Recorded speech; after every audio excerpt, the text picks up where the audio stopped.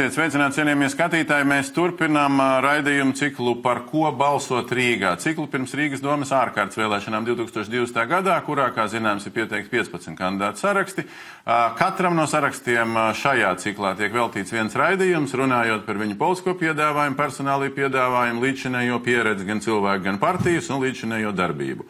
Um, studijā no katra uh, kandidāta saraksta ir aicināti trīs pārstāvji. Šī raidījuma viesi ir deputāta amata kandidāti no Latvijas Krievijas Savienības saraksta. Pirmais numurs uh, Krievijas Savienībā viņš arī valdes, valdes līdzpriekšsēdētājs Miroslavs Mitrofānovs. Otrais numurs pieteiktajos amatos, kā augstākais amats, liks, likts Eiropas parlamenta deputāts, deputāta, deputātes palīdz Inna Djeri. Dien, un trešais pārstāvs ir sarakstā ar piekto numuru iekļautais, arī Eiropa, Eiropas parlamenta deputāts palīgs Aleksandrs Kusmits. Labdien! Es uh, gribētu sākt ar to sarakstu uh, kopumā. Uh, jūs esat nu, nevis mazākais skaits, bet ne tuvu līdz 63, ko varēja iesniegt. Ir 40 cilvēku sarakstā. Nu, ko tā? Kad mēs uh, for, uh, strādājam, lai aizpildītu šo sarakstu, tad pat nebija mums kontē. Un uh, nebija tādu simtprocentu izredzes, ka mēs tiksim ievēlēti. Un saruna ar kandidātiem bija tāda. Nu, tu zini, ka tas ir tava, tavs ieguldījums kopīga darba. Mēs, mēs nevaram neko tev solīt, mm -hmm. ka tu tiks ievēlēts. Bet, ja tu pieņem šo piedāvājumu, tad būs jāstrādā. Tikai ar tādiem noteikumiem. Un gribētāji bija 40, vairāk nebija. Uh, bija 40, pēc tam kaut kas tur izmainījies, uh, bet uh, mākslīgi aizpildīt visas vietas nav vajadzīgs. Pilnīgi nu, nav. Vispirms jātiek 5%. Jo pāri. vai 5 cilvēki vai 7 mums būtu, bet nevis visi 40. Ir kaut kāds, es skatos, nu tie vārdi, kas tomēr vis, visvairāk pazīstami ir līdzās Mitrofonam kungam, piedošana, jūsu vārds ir stipri mazāk pazīstams. Ja tas skatās, ir Plinerkungs, 4. vietā sarakstā, Buzājev kungs, nu cilvēki cilvēka stāžu PCTV līdztiesībā. Buzājokungs sastāvvietā. Giļmana kungs pēdējais, 39. Ko tā?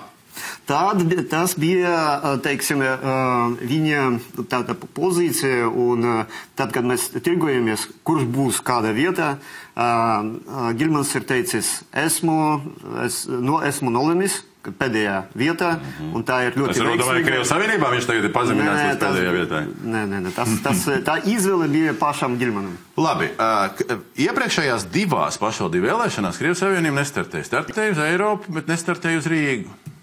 Nu, um, sazvērestību teoriju viegli var uzzīmēt. Nu, zvans no Maskavas, uh, ļaujiet saskaņai startēt, nestartējiet.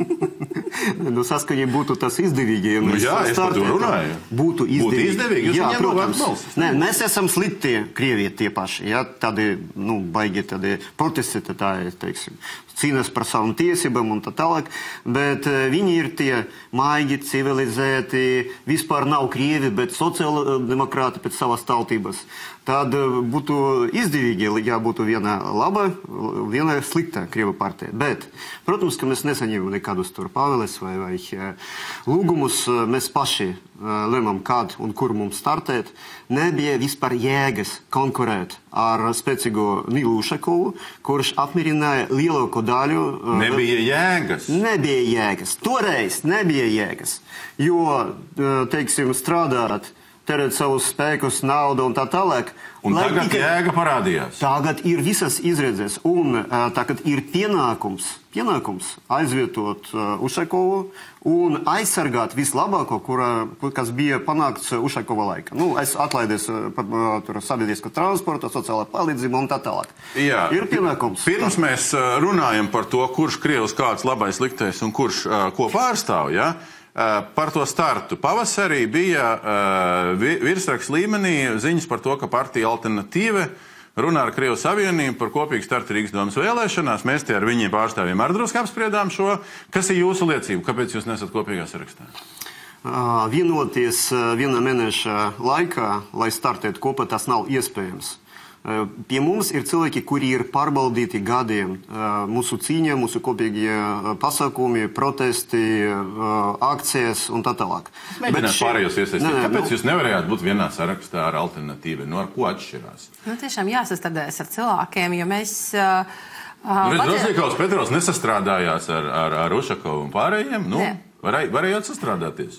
Viena lieta, ka ir viens kopīgs jautājums, kad, kas būs jārisina konkrēti domē, jā, un tad mēs sanāksim kopā un noteikti sastrādāsimies, risinot tur um, saimnieciskas un sociālas lietas. Cita lieta, kad iet vienā sarakstā, jā, kad mēs uh, nezinām viens otru. Šeit, uh, kā Miroslavs teica, mums ir bijuši regulārie, regulāras darbības, jā, gan pro, ne tikai protestu darbības, bet arī, arī cita veida darbības. Latvijas-Krievijas Savienība nevienu nedēļu nav, nav bijis, kā nebūtu bijis kaut kāds pasākums mūsu vēlētāju labā darīts. Uh, Pēdējo un trīs gadu laikā mēs- vismaz mēs, jā. mēs ļoti citīgi strādājām. Jā, vienkārši es esmu no 18. Nu, jā, gada partijā. jā. Un neticat, ka alternatīva ir tikpat labi Mēs darītāji. viņus nepazīstam. Nu, vienkārši tie ir Nu, Tagad sveši iedomājamies kuri ir- situāciju. Paņemam Nu, šo jā. te uh, avīzīti, jā, MK Latviju. Uz pēdējā vāka. Skaisti ir izdarīts. Baigie ne? darītāji. Jā. Mēs darām, cīnāmies tur Krievu skolu jautājumos. Jā. Paņemam pirmo vāku. Alternatīva mēs darītāji kopjam uh, uzvaras tur pieminekļu apkārtni vai ko tur, restīvi mēs arī darītāji. Nu, pēc, uh, pārējiem kur- a, gadiem- Kur ir atšķirība? pāriem, pāris gadiem. Ka, ja tas uh, turpināsies, ja alternatīva strādās uh, šajā jomā, tad mēs uh, varētu veidot uh, koalīciju, tuvoties un tā tālāk. Bet laiks tikai pārbaudīs, vai uh, viņam ir tāda nostāja un ilga tāda elpa. Strādāt ne tikai pirms vēlēšanām, bet arī. Jūs šaubaties par to? Mēs gribam, uh, lai viņi pierādītu, ka viņi var to darīt. Un mēs ar prieku uh, uh, saņem, saņemsim šis pierādījumus. Jo ar prieku saņemsiet pierādījumus. Jo, ja mēs paskatāmies uz tiem reitingiem, cik nu viņi ir, ir bijuši pieejami jūlijā, eh, jūs pilsoņu, eh, kas ir izdarījuši izvēli eh, starpā, tieši robežojaties uz 5% barjeras. Uh, nu, labi, reitingi tur staigā augšā lejā. Nākamā aptauja, kas bija jau, ka kara saraksts uh, sarakst bija iesniegti, ja? nu, starp izvēli izdarījušiem 5,5, bet ir liels, liela masa, kas nav izdarījuši Tieši tā, izvēli. jā. Un tur uh, nu, ir liels jautājums, kā tas viss sadalīsies. Tas nozīmē, ka patiesībā uh, nu, Latvijas nacionālisti var tikai priecāties, ka jūs tur cīnāties visi tur ar alternatīvu, jauno saskaņu, veco saskaņu un viens otram ņemat no Mēs balss. esam kopā vienā sarakstā ne, ne, ne, tā, ne tāpēc, ka mēs esam krievi vai ebreji vai poļi un tā tālāk. Mums ir sava politiska programma, mums ir tradīcijas, mums ir partija ar ļoti ilgu vē, vēsturi. Mēs nevaram aicināt visus cilvēkus no malas. Ejiet mums sarakstā un viss būs, visiem laimīgi būs. Nu, Kā jūs redzat, Kuzminkungs iesaistāties, uh, kā jūs redzat, kura ir visciešākā konkurente, nu tāpēc, ka jūs cīnāties par vienu segmentu? Aleksandr, kā tu domā, kurā ir vistiešākā? Visīvākā konkurence, manuprāt, ir ar saskaņu. Eh, Tā ir mūsu eh, galvenā konkurente. Eh, Viņi ir snieguši savu eh, piedāvājumu Rīgai un eh, arī plašāk eh, nacionālajā līmenī. Liela daļa Latvijas krievu vēlētāju ir devuši viņiem izredzi. Nu, mēs tagad izvērtējam, kas ir izdarīts, kas nav pietiekams. Jā, mēs to- piedāvājam, ko mēs darīsim. To atšķirīgi. mēs varētu pavērtēt. Man liekas, interesanti no tās aptaujas, ko izvilka kolēģi jau skatoties par, par, par valodu segmentu.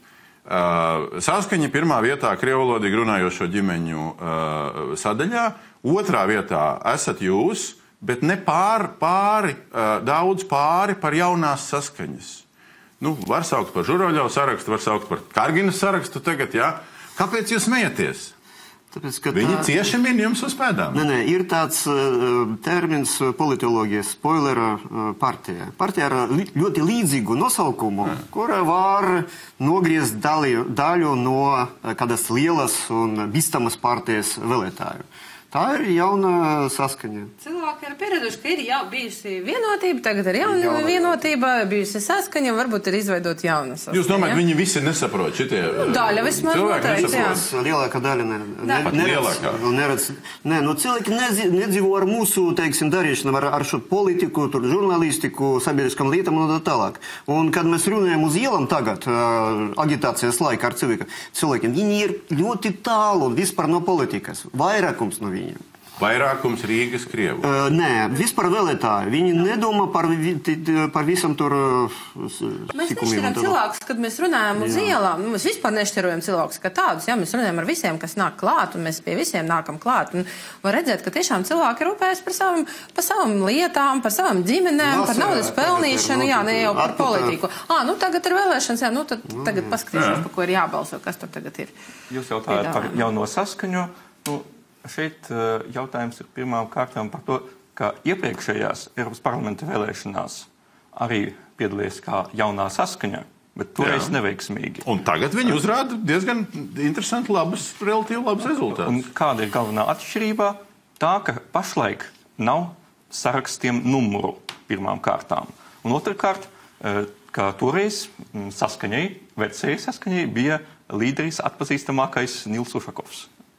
Nu, un pēc alfabēta jauna saskaņa ir augstāk novietota. Un kad aptauju taisa, teiksim, socioloģija, tad, tad ne visi tie, kuri piedalās aptaujā, var nolasīt līdz galam Tiešām tik struntīgs elektorāts jums ir. Jā. Nu, nav, nav mums, bet uh, vispār, bet tas ir normāli, ka cilvēki nedzīvo ar šiem politiskām lietām un ne, nedomā, ka katru. Bet, bet katrā ziņā eh, nu, šī, šī socioloģija rāda, ka Krievijas Savienībai, nu, neskaitot 3,9% no aptaujāto, kas ir latviešu runājušie, nu, ir totāli tikai Krievu. Uh, Krievu valodīgo 4% auditoriju. latviešu arī ir. Nē, tas, ko es rādu tagad, šī ir tā aptaujā, bet nu, neskaitot šos Nu, 4%, jā, tieši vispār.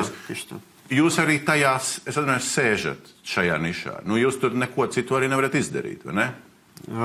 Šoreiz, pirms divām nedēļām, pirms vēlēšanām, protams, ka mēs neko nemainīsim. Jā. Sava ri- retorika, sava programma un tā tālāk. Mums galvenais tiktu, lai mēs tiktu ievēlēti Rīgas domē un izveidotu platformu, lai pēc tam piedalītos saimas vēlēšanās. Vai, vai tas ir iemesls, vai kaut kas cits iemesls, ka daži, nu, es negribētu viņus saukt podioziem, bet nu, daži saudabīgi latviešu tautības vai latviešu uzvārdiem cilvēki, piemēram, Einārs Graudiņš un, un Edvins Puķi, nu, tie ir tie divi spilgtāk redzamie, savulaik ir kandidējuši no Latvijas Krievijas Savienības. Tagad viņi ir citās partijās.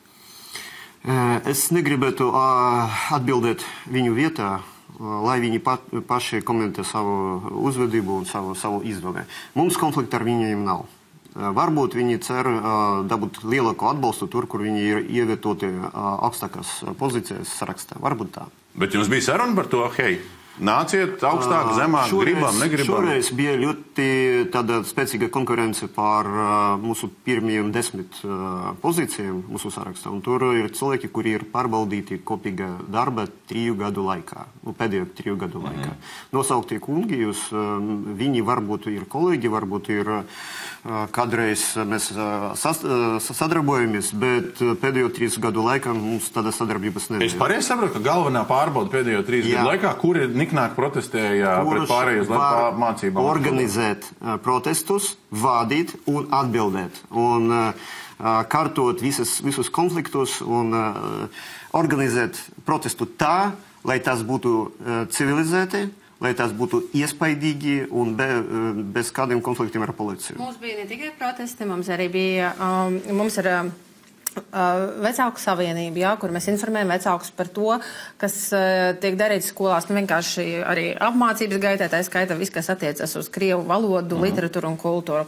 Uh, mēs iesniedzam uh, vairākas sūdzības tiesā, jā, pieņemsim par bērnu dārziem konstitucionālā tiesā. Mēs iesniedzam vairāk par simts uh, 37. 137 sūdzības eh, Eiropas tiesā. Jā, un arī turpināsim, jo, teiksim, Cik esat vinnējuši? Gaidām, kamēr viņi Nē, nu, nu, vispār- to, tomēr izskatīs šo te. jā. jo- sakarā ar to, ka ir tikai- vairāk par simts, jā. Jā. jā, mums ir lielas izredzes, ka izskatīs divu gadu laikā. Ies, ātrāk nekā- Jā, ā- ātrāk nekā, jā. Tagad, tagad strādājam, uh, Buzāiva kungs strādā pie um, cilvēktiesību komiteja, kur ir arī Aleksandrs um, strādā pie um, sūdzībām par, par, par bērnu bērnu dārziem arī. Mm -hmm. Pirms mēs ejam pie bērnu dārziem, ideoloģijas, valodas un, un, un citām lietām jūsu programmā vai, vai jūsu ideoloģijā kā tādā, eh, viens jautājums par naudu. Uh, konts slavenais, ilgs stāsts, Krievijas Savienībai nevēra vaļā kontus, beigās tomēr atvēra, uh, maija, be, piedošana, uh, jūlija beigās uh, šī ziņa. Mm. Uh, un tā skaitā komentārs no jūsu puses, Uh, pa Citadels banku. Banka veic rūpīgi katra darījuma izvērtējumu, kas aizkavē partijas darbību. Kas jums no. tur ko aizkavē? Nu, parasti cik šis pārskaitījums Latvijas teritorijā varētu nonākt no vienas bankas uz otru? Nu, pus tur dienas laika vai, vai drusciņi vairāk, bet mums no kaut kur ap piec, piec, piecam dienām. Bet tas ir normāli, jo tā, tad, tad ir noruna ar banku. Tad jo, pretenzija pret banku nav. Jo no šī nav, teksta varēja saprast, ka tur bija tāds apstrīds moments. Mēs tikai sākam savu sadarbību, un bija ļoti grūti atrast šo vidusceļu starp pārbaudi un atramu. Tagad kas atradām. Ir, kas ir iemesls, ka rekvizītos Krievijas Savienībā mājaslapā vēl aizvien ir tāda Lietuvas banka? Es jūs ļoti vienkāršs iemesls uz citadeli nedrīkst sūtīt ziedojumus. Tā, tā ir norunā ar banku. Tādā. À, tā ziedojumi turpina iet uz Lietuvu. Nu, ne, es... Citadeles konts ir tikai valsts budžeta finansējumam, Jā. ko mēs nopelnījām saimas vēlēšanās. Jā. Uh, bet uh, banka Lietuvā PSR ir uh, visiem citiem ziedojumiem pamatā, kuriem mēs varam brīvāk rīkoties un uh, kur cilvēki var brīvi ziedot. Mm -hmm. Sapratu. Labi, iesim, iesim pie ideoloģijām. Es gribētu sākt ar tēmu Baltkrievija. Nu, viņa tomēr ir, nu, vismaz ja runā par, par elektorātiem dažādiem, viņa ir šobrīd, es domāju, ka daudziem arī pat karstāk nekā Rīgas doma līdz 28. datuma vakaram. Jūs paši arī savā, eh, savos sociālos tīklos esat publicējuši uh, savstarpējas sarunas uh, par, par Baltkrieviju. Nu, ļaujiet saprast, ko jūs esat fonā uzliek to šodienas ziņu, ka tur Krievijas Nacionālās gvardas mašīnas kaut kur pārvietojas. Nu, ko tad jūs sakat par notiekošo? Par Krieviju mēs neko tur nekomentēsim, tas, jo neesam lietas kursā. Bet par, par Baltkrieviju mums ir īpaša tāda attieksme, jo tur ir radinieki, draugi. Tā ir vistuvākā valsts vispār, nu, pēc vēsturiski tā veidojas. Un, protams, ka no vienas puses mēs būtu kopā ar tiem, kuri protestē un pieprasa brīvību un demokrātiju, un pret diktatūru, tas ir mūsu asins kaut kur ļoti dziļi iekšā. Bet no otras puses mēs ļoti labi saprotam, ka Baltkrievija viņi nevar ievēlēt kaut kādu sabalansētu un atbildīgu valdību jaunu. Jo tas, protams, Lukašenko ir vainis, ka viņš neveidoja šo politisko elīti, viņš ne, neļāva politiskam procesam attīstīties. Tagad, ja aizvietos kāds Lukašenko, noteikti šis cilvēks vai cilvēku grupa viņi būs saistīti ar rietumiem. Es pareizi saklausu jūsu to versiju. Uh, drusku taisnība vieniem, drusku taisnība otriem. Uh, Bet mainīt Lukašenko nē. Mēs neesam runājuši vispār mainīt vai nemainīt. Tā ir Baltkrievijas tautas darīšanas. Vai, vai mainīt, vai Jebkādā veidā iet uz vēlēšanu rezultātu pārskatīšanu, atkārtotām vēlēšanām, pārejas periodu, kas iet uz ārkārtas vēlēšanām. Neko tādu nē. Vēlreiz atbildēšu, kā vēsture nedos Baltkrievijai ilgu pārējais posmu vai būs sabrukums ļoti ātrs un pēc Ukrainas varianta. Jo tur nav tādu, teiksim, pieredzi, kā to atrisināt mierīgi politiski procesi. Nu, Jautājums ir tāds, vai Latvijas Krievu savienība uzskata, ka vēlēšana rezultāti viltoti vai nav? Mēs saņēmām ļoti daudz sūdzību par to, ka rezultāti ir viltoti. Bet uh, par to var lemt tiesa. Bet ir pamats paši, domāt, ka ir viltoti. Uh, ir signāli un ir sūdzības, kuri mums ļauj uh, domāt, ka kād, kaut kur un kādreiz tie varētu neatbilst patiesībai. Bet uh, tā ir tehnoloģija. Tā tas nav visbūtiskākais. Visbūtiskākais ir, kas notiks pēc tam, Jā. kad Lukašenka aizies. Tā, Jūs pieminat, ja būs kāds cits, tas būs rietumu, rietumu ieliktenis. O, Nu, jā, Jūs tik slikti domājat par Baltkrievu tautu? Es slikti domāju par nepareizo Lukašenko rīcību, ka viņš ne, neizveidoja spēcīgu partiju, kura būtu patriotiska un uh, uzstāja uz Baltkrievijas vērtībām. Viņš neļāva veidot uh, Maskavai kaut kādu uh, nevis lojālu, bet vērstu uz sadarbību ar, ar, ar, ar Krieviju. Tā teiksim. Tādas, tādas opozīcijas tur arī nav. Un, tur opozīcija ir vai nu cietumā, jā, vai nu ārā atzīmēta. Tikai vienīgā opozīcija, kura pārstāv, tā ir rietumi orientētā uz rietumiem orientēta opozīcija. Varbūt ja uz brīvību orientēta, uz tiesību o, realizāciju. Tā brīvība tā ir. Mums jau arī ir ielikņi no ārzemēm, jā, mūsu valdībā. Kurš ir?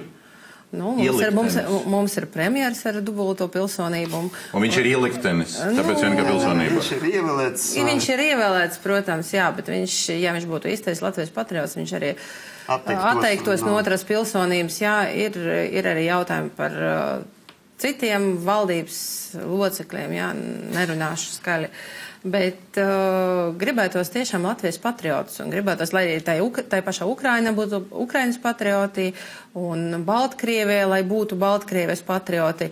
Uh, Lukašenko ir iesēdējis savā amatā tiešām pa 26 gadiem, jebkuram cilvēkam būtu bijusi profesionāla degradācija. Un būtu, kaut, būtu daudz, kas jāmaina tur, kaut gan es pirms pusgada tieši ar savu ģimeni apciemoju radiniekus, un tā ir plaukstoša valsts, tur ir daudz ražotnes. Uh, mans tiešais radinieks, es runāju ar viņu, viņš uh, bija aprunājis ar trīs iesarkņu vadītājiem, un pats bija pabrīnījies, ka tiešām cilvēki bija balsojuši par Lukašenko, jā, un tie, kas šobrīd bija. Viņš bija pabrīnījies par to. Viņš bija pabrīnījies, jā. -hmm. uh, bet uh, iesarkņu vadītāji viņam nebija. Labi, bet jūsu Jā. pozīcija tad ir tā. Kā jārīkojas atbildīgi. Jebkurā visiem jārīkojas atbildīgi. Uh, gadījumā. Nē, ir cita, ir cita pieeja. Pavisam uztaisīsim revolūciju un skatīsimies, kas notiks tālāk. Jā, bet jūsu būtībā pamat pieeja tomēr ir jebkas, kas nogāž uh, Lukašenko, a priori ir ielikteņi. Nevis ieliktenis, bet cilvēks, kurš orientēsies uz uh, rietumu interesēm. Tas tā, citas izredzes tur nav. Nav slikti. Nu, nav slikti no vienas puses, bet no otras puses noteikti Baltkrievija zaudēs savu rūpniecību. Zaudēs šajā gadījumā. Un procesi būs līdzīgi tiem, kuri pat labam ir uh, Ukraina, kur uh, ekonomika ir, nu, daļai ir sagrauta un cilvēki brauc strādāt uz Poliju. Tas pats notiks ar, ar Baltkrieviju. Un atkārtosies arī mūsu rupta pieredze, kad cik tur viena ceturdaļa no iedzīvotājiem vai ir pazuduši, izmirsuši, vai, vai aizbraukuši uz ārzemēm strādāt un tā tālāk. Labi, Tad, kas notiks nākotnē, mēs nezinām. Uh, kas ir noticis pagātnē, mēs it kā zinām, uh, bet dažreiz liekas, ka tomēr ir divas dažādas pagātnes notikušas. Viens jautājums, ko es gribu, nu nevar neiesaistīt Tatjana Ždanuku neklātienē, ja, šajā uh, sarunā. Tātad jūsu uh, vienīgā pārstāvniecība vēlētajā līmenī, pārstāvniecība Eiropas parlamentā, Nu, viens piemērs, kas man liekas, kaut ko ilustrē, īstenībā pat ja mēs skatāmies tādā vēstures kontekstā, kur aizgāja, nu, nesit Baltijas valsts, piemēram, Baltkrievija, varbūt vēl kaut, kaut kas cits pēc, pēc Padomju Savienības. Piemērs, kas uh, virsveiks līmenī pagājušā gada vēlā rudenī bija Eiropas parlaments nosoda Krievijas kriminālu vajāšanu pret 13. janvāra lietā iesaistītiem Lietuvas tiesnešiem un prokuroriem. Respektīvi, bija rezolūcija, kur uh, absolūtais vairākums nobalsoja, ka tiek nosodīts Krievijas uh, lēmums inkriminēt Lietuvas um, prokuroriem un tiesnešiem. Uh, tur nepareizi un, un, un, un, un, un, un, un tur sliktu tiesāšanu par to, kas notika 91. gadā Viļņā. Un Tatjana Ždanoka nobalsoja pret šo nosodījumu. Un tagad man liekas, līdzīgi kā mēs skatāmies, kāda vēsture ir Latvijā, kāda vēsture ir Baltkrievijā, kāda vēsture ir vēl kaut kur, kāda vēsture veidojās. Man tas jautājums, kas, kas rodās, nu, atceroties, es jau tajā laikā arī biju žurnālistikā. To, kas notika um, nu, pie televīzijas torņa 13. janvārī Viļņā. Tad ko Krievu Savienības pārstāvis šobrīd uh, mēģina pateikt Eiropas parlamentā, teikdams, ka tur vēl bija trešie spēki un leiši paši uz sevi šāva un kas tik vēl nē? Uh. Iejaukties Lietuvas lietas mēs negribētu. Viņi paši ir pieauguši cilvēki un atrisinās šo lietu. Bet uh, mūsu draugs, kolēģis uh, uh, Algirdas Paleskis viņš sēž cietumā jau cik viņš sēž tur trešu gadu jau, ja, pirms tiesas uh, apcietinājums. Viņš uh, apšaubīja šo oficiālo versiju.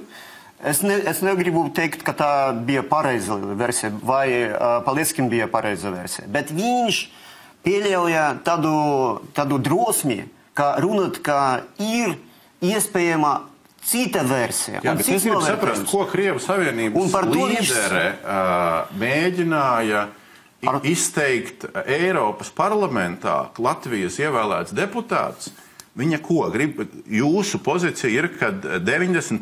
gadā Krievijas armija nebrauca uz cilvēkiem un, un Mūsu tankiem? pozīcija ir tāda, ka cilvēkiem ir jā, jāļauj runāt un apspriest dažādas versijas. Un nedrīkst turēt žurnālistu Palecki cietumā tikai par to, ka viņš, viņš, uh, uh, viņam bija tāda drosme apšaubīt oficiālu versiju. Rezolūcija nebija par to. Bet tas ir ļoti cieši saistīts. Viņš, jo viņš, viņš ir tiesāts tagad par to, ka esot kaut kāda saikne starp uh, viņa izmeklējumiem, žurnālista darbu un tiem pašiem tur prokuroriem un uh, Krievijas uh, masu mēdījiem un tā tālāk. Rezolūcija, to. rezolūcija bija par to, ka uh, Maskava uh, nu, pasludina par nepatiesu uh, Lietuvas tiesību sargu uh, izvērtējumu par to, kas Es notika negribu tajā laikā. komentēt Maskavas pozīciju, lai uh, zina, ka komentē Nē, pēc būtības. Bet ir atļauts runāt par dažām uh, pozīcijām, un tā ir norm normāla demokrātiska,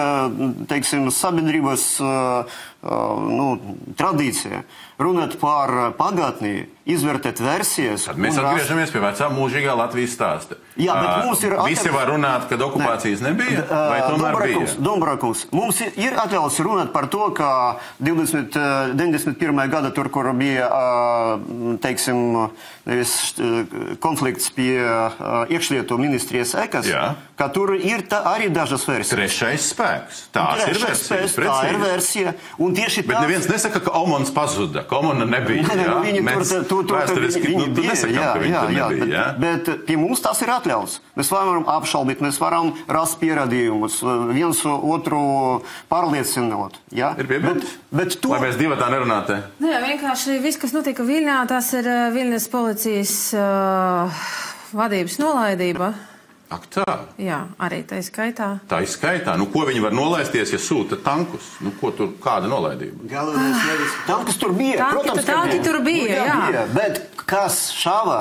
Līdz šim brīdim tas nav, teiksim, līdz galam tas atrisināts. Jo ir versijas, kuras savā starpā strīdās. Nu, Tā ir. mākslīgi necenstos pārsināt vēstures problēmas, būtu vēl jāprecizē, ka tur nebija Krievijas armijas, bet PSRS armija. Jā, PSRS armija. Tas taisnība. Tas taisnība. Uh, vēl viena idejiska lieta, pirms mēs ejam pie programmas, uh, ko es gribu apspriest. Uh, jūsu trešais numurs, uz viņu atsaucoties, uh, Facebookā ir nopublicēts pirms nedēļas. uh, Drusku vairāk uh, partijas uh, profilā um, ieraksts. Uh, Ruskija, ir noja narod Latvija, tātad uh, Krievi Latvijas uh, pamat iedzīvotāji. Nu, un tur detaļas un bildītas. Šis ir tas pats lielais jautājums par vēsturi. Um, jo nu, vienā mirklī uh, mēs uh, nu, aizmirstam, ka ir latvieši, līvi, bet sākam būvēt kaut kādu citu patiesību. Ko mēs šeit mēģinām uzbūvēt? Neviens šeit neapšauba, ka arī latvieši un lībieši un arī citi es piebildīšu, gan vācieši, gan ebreji, gan poļi, gan citi baltkrievi, eh, arī šeit ir tādi paši iedzīvotāji no paša sākuma un vēl pirms pašas Latvijas rašanās, kā mēs to pieminām, arī par krieviem. Tā ir jūsu versija. Nosauksim to tā. versija? Nu, mani ra- radinieki, mani senči dzīvoja pirms Latvijas uh, valsts tika pasludināts, un uh, jau bija aktīvi ekonomika, politika un tā tālāk. Un Vai tagad man visi- teiks, ka esmu migrants vai at- atbraucis kaut no, Jā, kaut šī, kur. šī ir Es svarīga lieta. Jā? Vai tas, ka vecticībnieki, Es, mēs tas, neesam nekādi vecumnieki. Ne, jeb, jebkas, jā.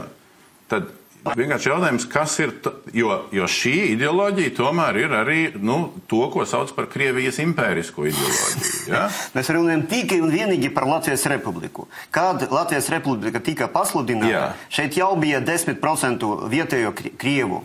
Un Jā. tie ir pamat iedzīvotāji. Par to Tie, ir- bet ne pārējie, Nē. kuri okupācijas laikā Tas ir okupācijas, šis okupācijas laiks, un tā tālāk. Viens simts gadu ir pagājis, nu, vēl tur pāris, pāris de- desmit gadu, un tie cilvēki arī, viņi dabiski būs daļa no vietējas Krievu tradicionālas kopienas. À, tas šis ir uz nākotni rakstīts. Tas ir ne tikai uz nākotnes, bet Nē, jo ļa- tas ir ļoti svarīgi. Vai jebkurš krievs, kurš šeit atrodas, ir pamatiedzīvotājs, vai tomēr nē? Mēs esam tik daudz sajaukušies savu starp jau. Jā, ka mums ir grūti atdalīt, un Krievija ir viskomplementārākā tauta latviešu tautai. Mēs, mums ir ļoti daudz jauktas laulības, mēs svinām tos pašus svētkus, ā, mums ir tuvas tas pašas tradīcijas, mēs saprotam vienu otru mentalitāti. Jā, mēs esam jau vietēji, tā ir mūsu zeme arī. Jā. Ja m, skatoties Mēs nevaram atdalīt vienu no te, teiksim, no zinātnes tā, teiksim, pieejas. Protams, ka Krievu kopienai tagad Latvijā ir divas daļas. Ir tradicionālā daļa un ir tie cilvēki, kuri atbraukuši vai viņu bērni padomju laikā. Mm. Protams, jā, bet ģimenes ir jauktas. Un sadalīt un teikt, ka tie ir pareizi, bet tie nepieder. Tā ir pareizi. Tā, tā vārdu pamatiedzīvotāju. Tad uh, Andrejam ir arī taisnība. Tā ir uh, viena no uh, pamat uh, iedzīvotāju grupām vietējai Krievijai. Bet uh, tore, tomēr uh, kopiena ir lielākā nekā tie, kuri ir, nu, teiksim, Plūstoši pārējām par, uz tēmu kopienu. Akurāti šo mērķi, šo, šo virzienu gāju. Programmā ir teikts, ka Krievijas Savienība apvieno Krievu kultūras cilvēkus, mēs maksājam nodokļus, mums ir tiesības lemt, kādiem mērķiem tie tiks tērēti. Kopienai ir nepieciešami savi pārstāvji Rīgas domē. Nu, nepārstāvat jūs vienīgie Latvijas krievu kopienu. Nu, galīgi nē. Mēs tikko ap- apspriedām veselu partiju baru, kas pārstāv. Ja mēs uh, lasām programmas, tad uh, šajā līmenī, protams, ka mēs esam vienīgie. Jo citiem ir pavisam cita uh, teiksim, identitāte. Saskaņiešiem Nu, saskaņa nepārstāv krievus? Nu, tie nu, nav krievi, tie ir sociāldemokrāti. Viņiem ir tāda identitāte. Nu, mēs uh, atbalstām viņu izvēli. Ja viņi būtu pārstāvējuši Krievu tautu, tad viņi būtu aizstāvējuši Krievu, Krievu tautības intereses, Krievu kultūru. Ja? Ko mēs šobrīd redzam? Um, jā, uh, Krievu tautības cilvēkiem, tip, tīpaši bērniem, ir tiesības kopt savu kultūru, mācīties savu valodu, literatūru. Patiesībā uh, visos priekšmetos, gan zīmēšana, kur ir kultūra, kur, kur, kur ir um, mūzika, ja, visi visi priekšmeti tiek novadīti latviešu valodā. Ja? Reāli mēs saskaramies ar to, ko es izdarījusi saskaņa, būdama val, uh, parlamentā. Viņi nepretojas. Viņi nepretojas. Tad, tad es saprotu, ka jūs uzrakstīdami, ka jūs apvienojat krievu kultūras cilvēkus, tad jūs sakat, ka tie, kas ir saskaņā vai vienalga pankrātaus ar savu krievi, krievu pasauli, ka tie nav krievu Tur kultūras cilvēki. bija pārbaudes brīdis, mirklis ā, 2017. gads, kad sākās ā, jauna, jaunais Vilnius, kad jaun, šis likums, likum, likumā izmaiņas par to, ka paplašināsies ā, latviešu valodas daļa vai vispār ā, vidēja izglītība pāries tikai un pilnīgi uz latviešu valodu. Tad tie cilvēki, kuri piedalās kopā ar mums protestos, tie ir Krievija. Bet pārējie, ja es runāju par politikiem, par politikiem. Bet pārējie viņi ir slinki, var no, nodevēt. Slinki krievi. Slinki Vai ar citiem viedokļiem Krievi? Slinki sociāldemokrāti, tā teiksim. Mēs jā. esam, jā, mē, uh, PCTVL, tad tagad Latvijas Krievijas Savienība, mēs esam um, um, pieturējušies pie savām vērtībām visus šos 30 gadus. Vienīgie. Pārējie ir atdalījušies. Viņi šā vai tad kaut kādā laika posmā ir bijuši kopā ar mums, un tad viņiem ir parādījušies citas intereses. Mums ir tas pašas intereses aizsargāt Krievu Nu, kopienu labi, bet, Latvijā. bet krievu kopienai, ņemot vērā arī to, ka jūsu programmā divas trešdaļas nav par valodas un etniskiem jautājumiem, bet saimnieciskiem. tas- jā, tas ir Krievu kopienai taču arī ir dažādi uzskati. Viņi var būt liberāļi, sociāldemokrāti un sazina vēl kaut kas. Tieši tā, un ir piemēram sociāldemokrātiskā daļa, jā, saskaņa pārstāv sociāldemokrātus gan ā, no Krievu vidus, gan no Latviešu un citu vidus. Jā, Ā, A, jūsu viņiem- programma ir tikpat kreisa kā viņējā, ja tā paskatās. Bezmaksas transports, tur pabalsts, labā atbalsts, pabalsts, Viņam kaut bezmaksas transporta nav. Viņiem Tas ir jautājums par ā, iespējamo sadarbību, bet ā, cits jautājums ir par identitāti, kā pašlaik tieši mēs identificējamies kā kopienas partija, kā kopienas kustība. Protams, vienmēr būs kāda daļa no Krievu vēlētājiem, arī Krievu kopienas sastāvā, kas balsos vai nu par konservatīviem, vai nu par sociāldemokrātiem.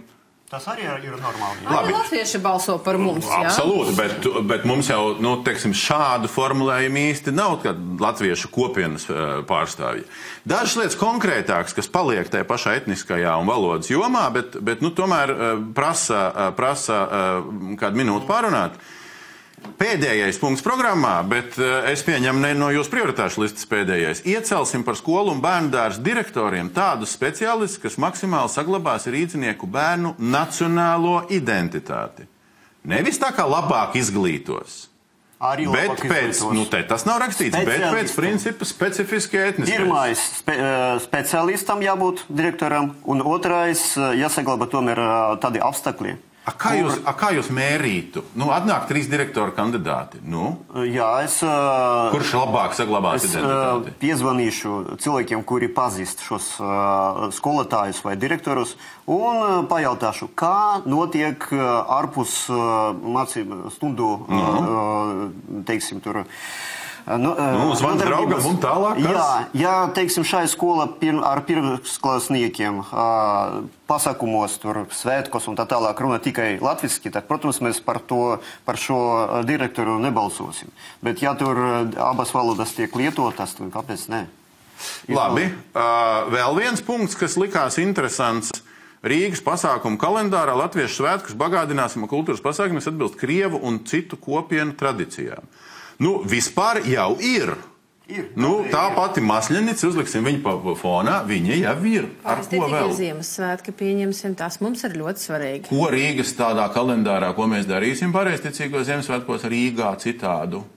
Citādi šobrīd nekas netiek Nu, darīts. Jūs sakat, papildināsim, tad ko darīsim? papildināsim. Ko darīsim? Pasludināsim tādu konkursu nevalstiskām organizācijām, pasākumu organizēšanai. Tur piedalīsies gan reliģiskas organizācijas, gan nevalstiskas biedrības. biedrības.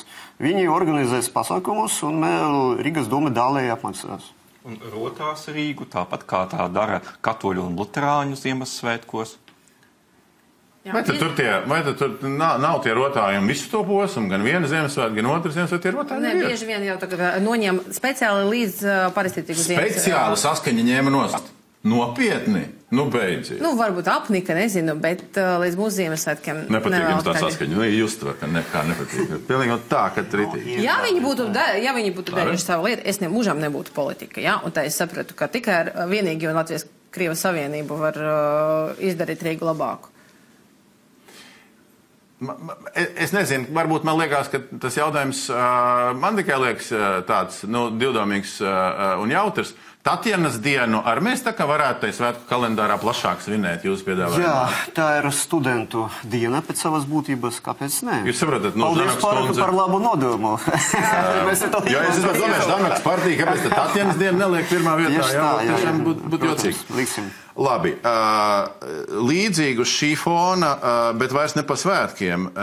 Vēl viens tas virziens, kur jūs to valodu virzat iekšā, ir nodrošināsim iespēju lietot krievu valodu saziņā ar pašvaldības uzņēmumiem un iestādēm. Es neprasīšu, kā to darīt. Skaidrs, pieņemam simts cilvēkus, kuri lieliski pārvalda krievu valodu. Es apmēram iztēlojos. Bet kurš tad vēl to atbalstīs? Bezjēdzīgs punkts. Jums nav partneru šajā jomā. Nē, nē, no partneriem. No partneriem. Nu, skatīsimies, kā tur ā, notiks pēc ā, vēlēšanām un kā gaisotnē izmainīsies. Jo ā, pirms pusgada bija iespēja Rīgas namu pārvaldniekam atsūtīt elektronisko e, vēstuli, ā, uzrakstītu Krievu valodā arī. Protams, ka viņi atbildējuši latviešu, uh -huh. bet šī saskarsme starp klientiem un ierēdņiem bija iespējama. Bet tagad tas viss pazudusi šī, šī iespēja. Mēs ā, atgriezīsimies pie situācijas, kur, kura bija pirms gada. Viss. Krievijas Savienība virsraksts netik sens jūlijā domē sola izjaukt Ušakovu laika korupcijas schēmas. Nu, vispār liekas, ka šo to jau ir pajaukuši. Nu, pūce pajaucā ar, ar atstādināšanu, Mums domas nav atlaišanu pajaut. Kas? Tāpēc es gribu Tāda parunāt. iespēja nav. Kas, kas jo visi šie ā, krimināla lietas ā, nevirzas uz priekšu. Mēs neesam sagaidījuši nekādus lēmumus, nekad neviens nav iesidināts. Bet labi, tas ā, ir knaba pienākums, policijas un tā tālāk.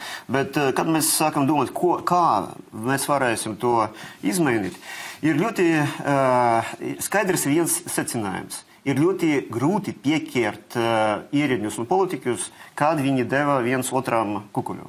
Jo tagad ir dažādi paveidi, kā, teiksim, piezvanīt uz kaut kādu aizklātu kontu kaut kur tur mm -hmm. tālajos mm -hmm. dienvidos kaut mm -hmm. kur, ja?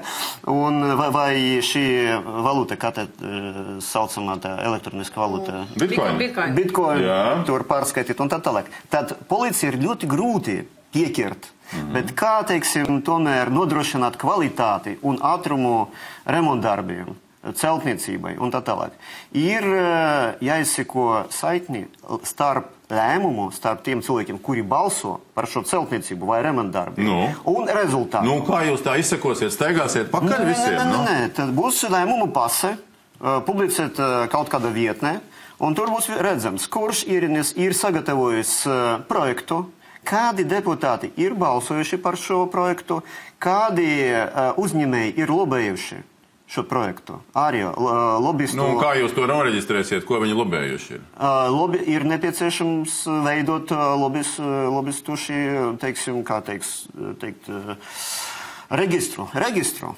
Bez, bez nacionālās likumdošanas Rīgas domē uztaisīsim reģistru. Nu, kāpēc baigi, ne? Nu, ja visi pie, uh, atbalstīs Strādāsim pakāpeniski, jā, jā. Teiksim, ierakstīsim to informāciju, kas būs pieejama, kas ir, kas ir balsojis par, uh, kādi vispār ir bijuši piedāvājumi. Protams, ne projekta gaitā, jo tur ir arī nu, noslēpums noteikti. Ai, ja jā. kartelis. Neko nevar izjaukt.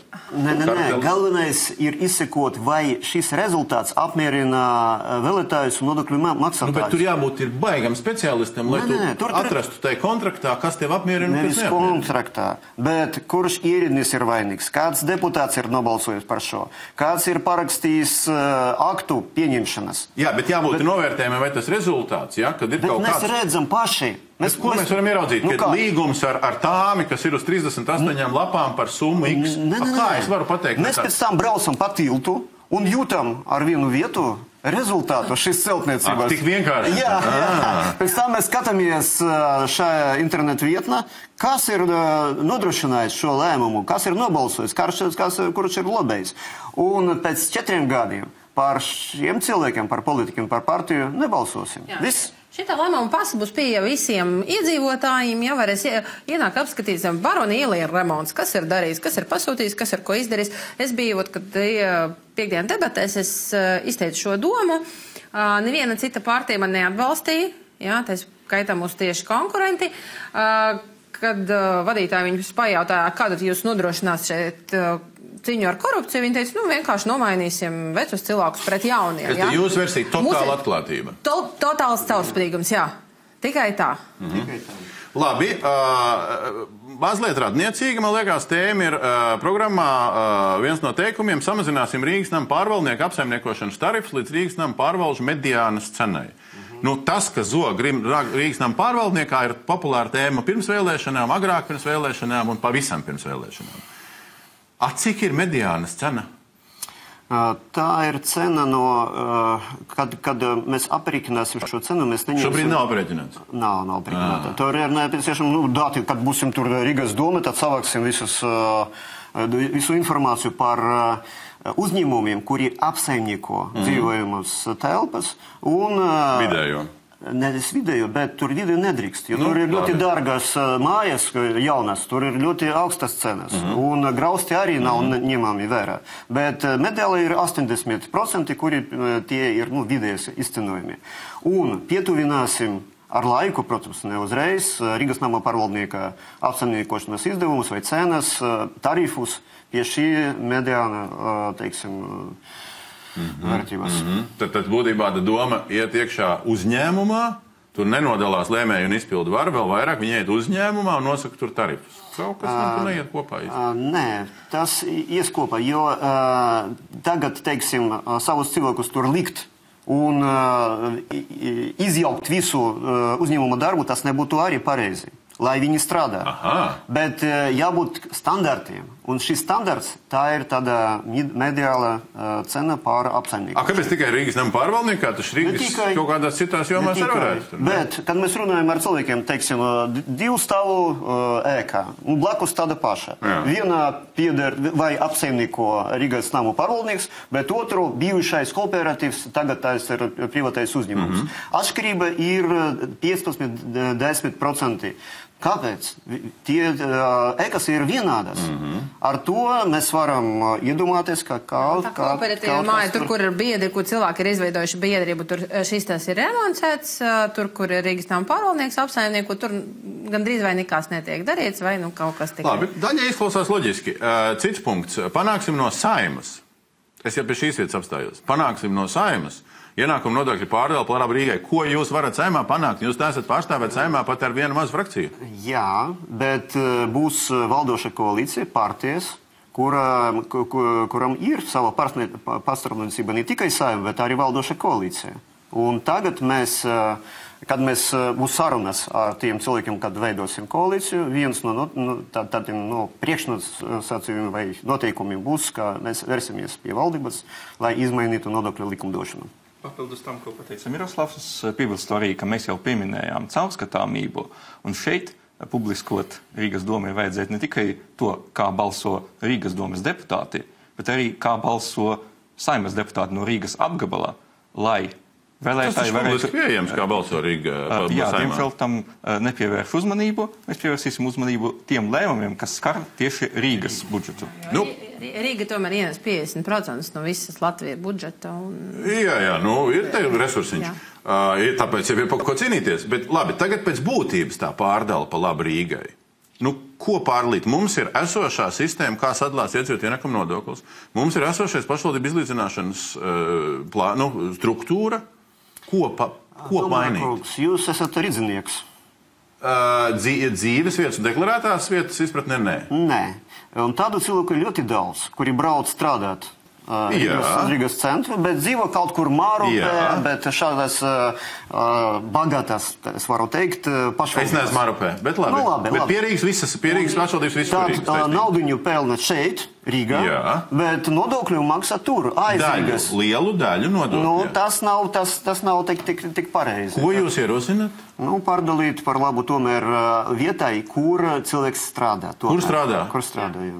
Un, un, un visu tā kā a, tur maksā. Nu, nu, Nu, nu, visu, 40 bet nu, līdz 40, 50. jā, 50%. protams. Tā ir totāla reforma. Tā ir fundamentāla reforma. Bet otrais variants ir apvienot pašvaldības. Tas ir Un tad vēl pašvaldība izlīdzināšana, tad vispār aizmirstam, jo šobrīd Nē, nē, nē. Rīga tomēr dotē mazāk turīgus Nu, jā, daudzus jā, jā, jā, reģionus. bet uh, šīs pierīgas uh, pašvaldības ir turīgākas nekā Rīga. Tur ir tā, tiem tikai paņem. jā, jā, nost. protams, jā, jā, protams. Jā, ne, nu brauc jau arī tālāk cilvēki. No tā, no, Nu, ne tikai tur, no tur pierīgas. nav tik, tik uh, pie- pietiekušas pašvaldības. tur- Labi, uh, tad viens uh, pat ne punkts, bet, bet, bet, bet tāda trīs teikumu kombinācija. Es ilgi domāju un nesapratu. Jā.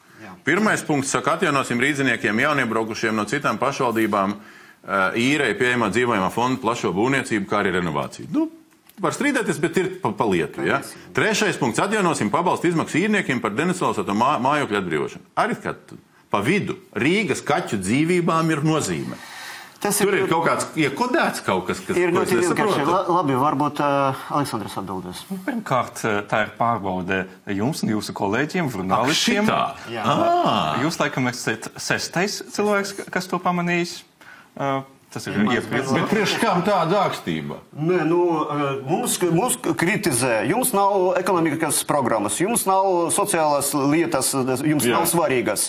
Bet jūs esat izlasījuši mūsu programmu. Ā, ok. Tas nav tik svarīgi jūsu programmu lasīt, bet tomēr jūs esat, mm. jā, esmu. Bet tad kaķu dzīvībām nav tik lielas nozīmes kā, kā Ir patestēt. gan, mēs arī svinējām arī kaķu dienu, burtiski nesen. Uh, uh, noteikti mēs nu, mīlam kaķus un Rīgas kaķus un veidojam arī no mālā tos kaķus.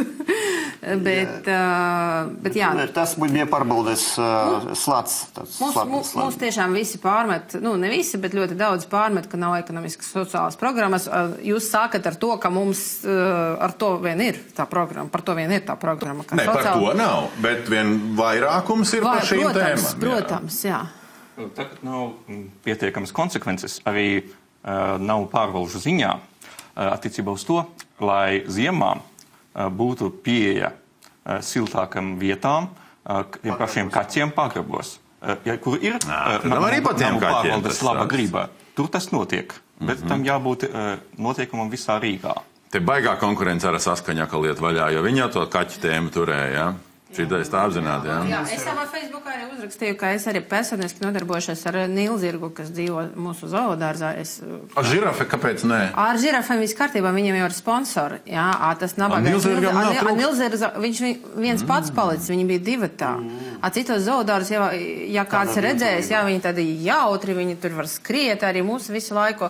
Abi divi tur gulēja. es domāju, ka Krievijas Savienība varētu vairāk par tiem blāčiem tur vai kaut kādiem tādiem nu, kopienai raksturīgiem tādiem. Nē, nē, tas ir mans personīgais. Krievijas Savienība rūpējas par Nīlzirgu. Es pilnīgi Par redzu. par vilkiem. Krievijas Savienība grib rūpēties par Nīlzirgu. Es domāju, ko man saprast ar šito te tādu vēstījumu?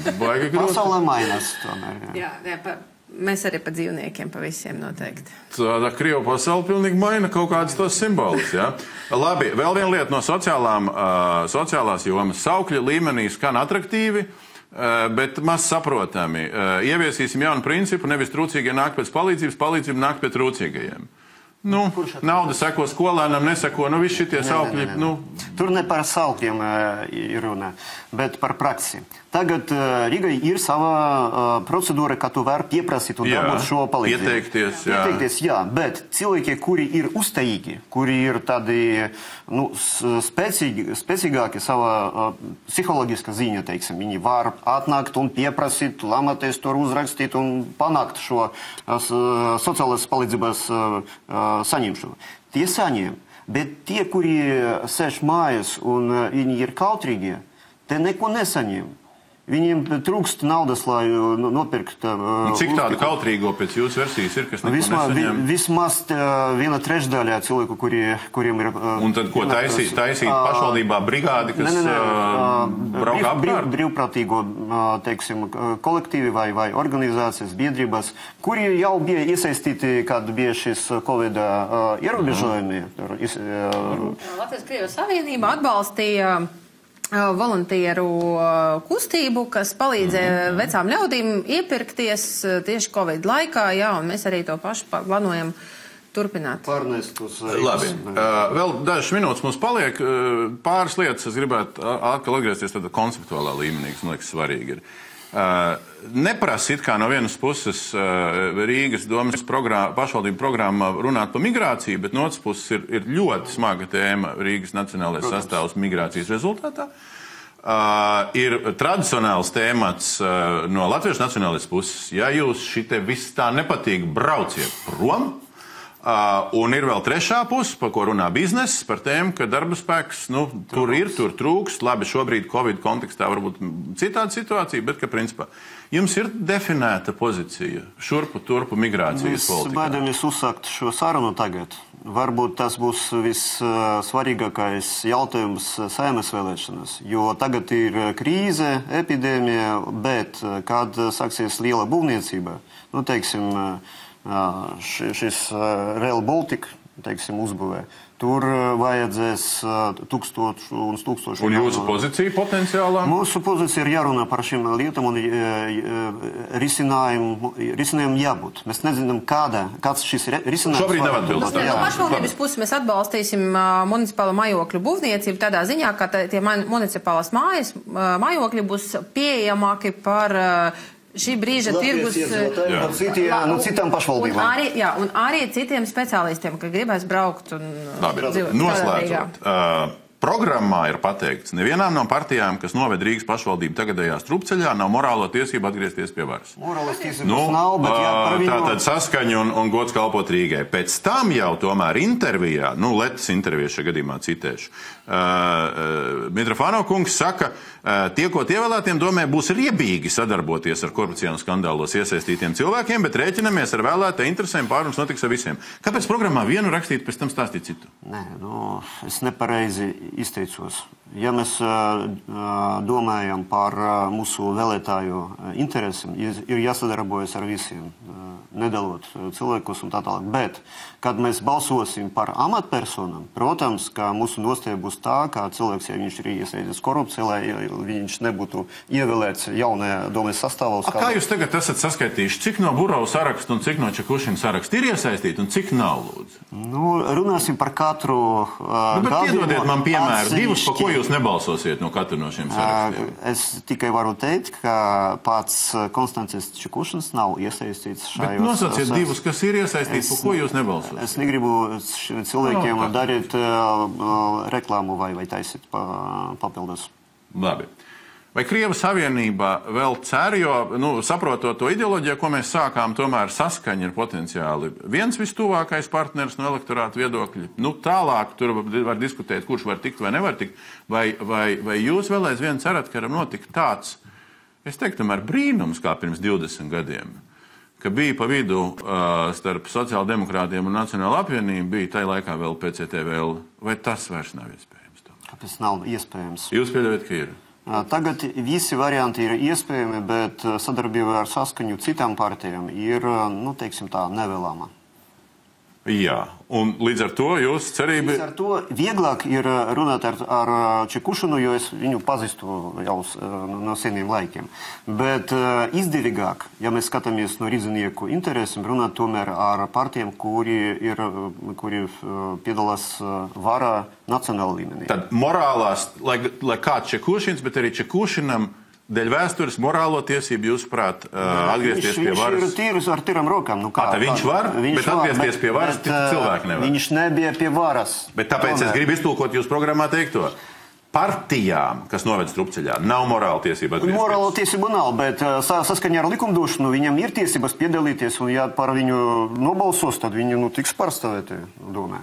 Uz šīs nots nezinot, vai jūs tiksiet pārstāvēti domē. Paldies par sarunu, paldies, ka atnācāt, paldies skatītājiem par uzmanību. Turpinājums sekos. Paldies.